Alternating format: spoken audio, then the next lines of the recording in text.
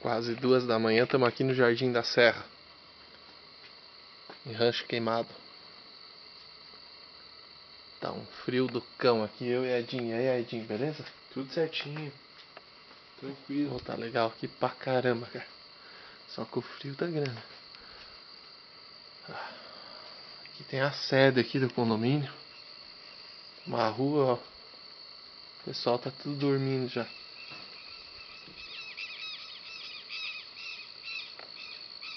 Quero, quero.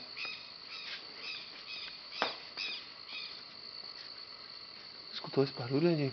Porra, que barulho. Ali, cara. Meu Deus!